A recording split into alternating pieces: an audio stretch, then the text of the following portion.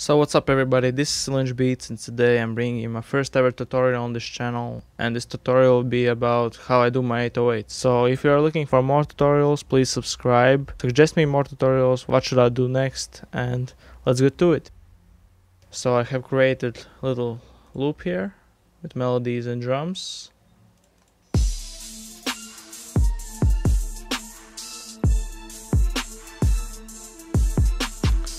So very simple stuff. By the way, I used Showem drums for my beat and this will be available in my up and coming Silins Beats drum loops and it will contain a lot of drum loops of course effects, kicks, 808s and more stuff so it's not done yet and look forward to that. So let's get to it.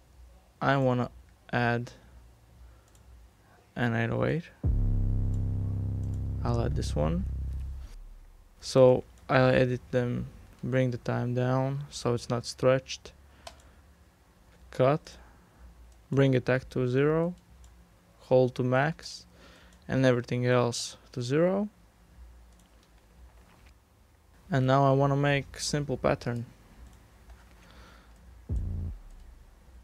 So let's do this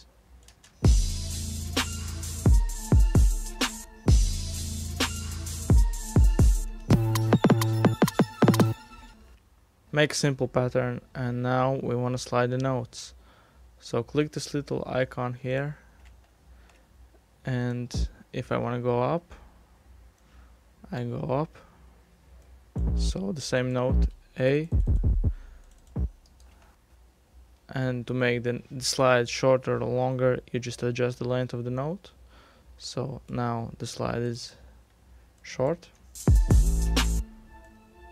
And now so if you want a longer slide you make the note longer. You can add it anywhere you can add it here but because the beat is not in the G or whatever note it's an A.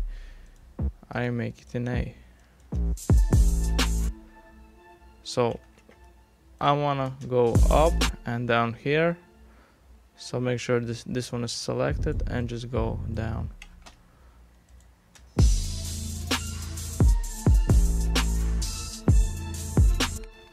very simple stuff. And now I wanna make some nice creative slides here. Make sure the icon is clicked. And let's go two octaves up.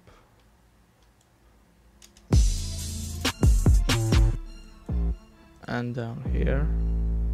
Also make sure that the slide note is above the regular note so they won't do anything if there's no regular notes under there so make sure you do that.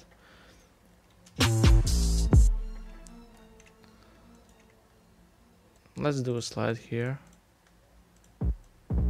Make it longer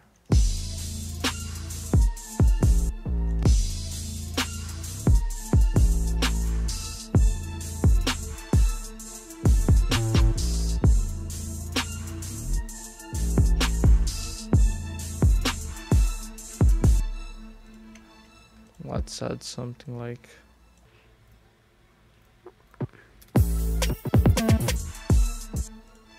Nah, that sounds bad. Just be creative with it. There's no right or wrong way to do that. So yeah, thank you for watching. Please subscribe, like and share this video. It will help me grow my channel and do more interesting tutorials for y'all in future. Suggest me what tutorials I should do next and see you in my next videos.